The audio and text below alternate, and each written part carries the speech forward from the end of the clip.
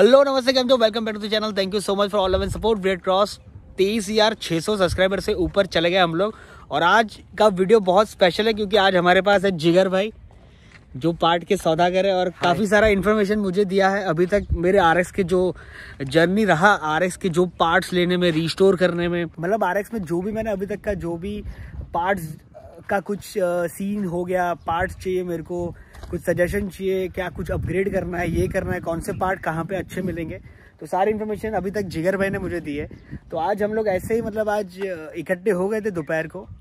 तो Weaver like के आज चेक करते हैं हम लोग जिगर भाई के R X one thirty five five speed को। So here we have R X one thirty five five speed which has been converted from four speed to five speed this is cobra वाला जो engine के जो पड़खे होते हैं ना वो बाहर से इम्पोर्ट किए हुए हैं ना इंडिया के नहीं इंडिया के अंदर फाइव स्पीड वाले ये डिज़ाइन नहीं आता और डिज़ाइन आता है। इनका सिलेंडर देखने जाए तो सिलेंडर इज़ आई टू जो इंडिया का मिलता है। नया लिया था ना अपने इंडिया का? हाँ इंडिया से एंड यहाँ पर है कैटलिक कन्वर्टर वाला exhaust which is original and genuine from five speed carburettor भी है फाइव स्पीड का. Four T L four two zero which is original five speed carburettor और ये टैंक इन्होंने और पूरा बाइक रीपेंट कराया हुआ है. कस्टम खुद से मतलब मतलब खुद से ही कराया है. कंपनी से लिया हुआ नहीं है टंकी. और यहाँ पर देखने जाए तो आरपीएम का भी कन्वर्जन किया हुआ है.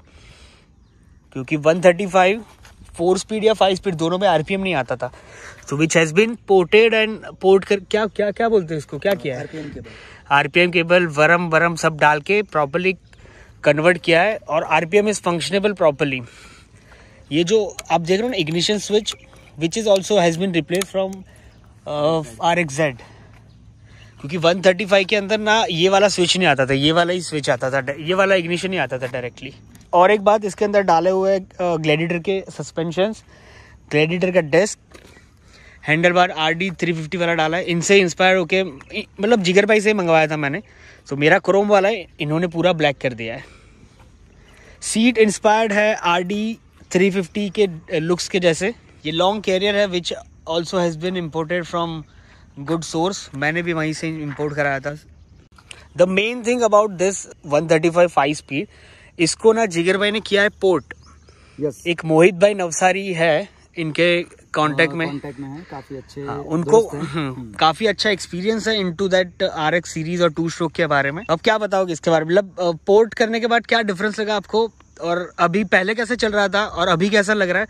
और फोर स्पीड को कन्वर्ट कराए हुए कितना टाइम हो गया आपको? फोर स्पीड को कन्वर्ट करे करीबन चार साल जैसा हो गया है।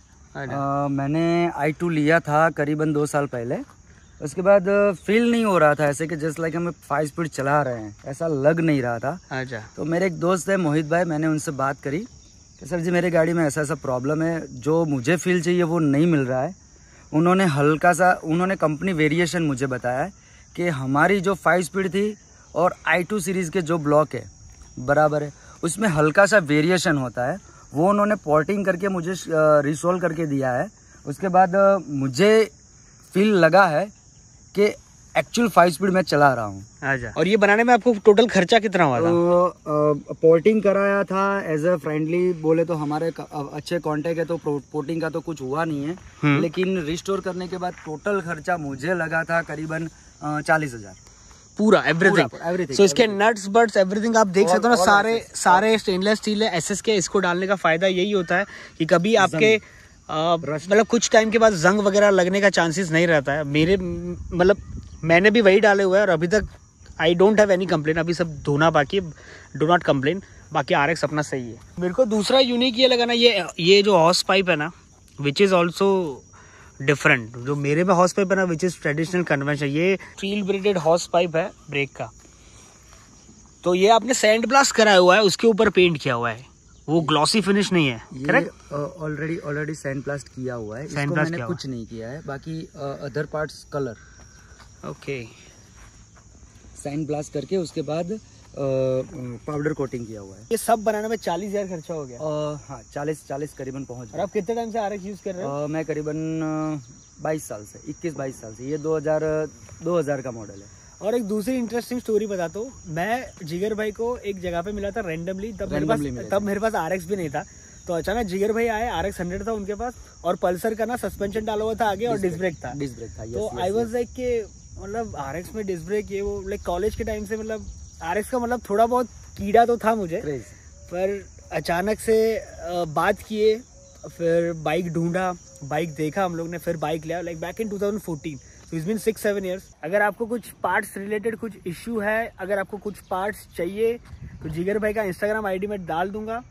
आप डायरेक्टली उनको डीएम करना, परेशान मत करना। बट डायरेक्टली डीएम करना, अगर जेन्यूनली अगर if you are require something which which is not available in your region तो आप जिगर भाई को मैसेज करिए। अगर उनसे बन सकता है तो वो हेल्प करेंगे। अभी आप टॉप स्पीड का वीडियो देखिए R X one thirty five five speed का आर एक्स हंड्रेड का and do comment like share subscribe if you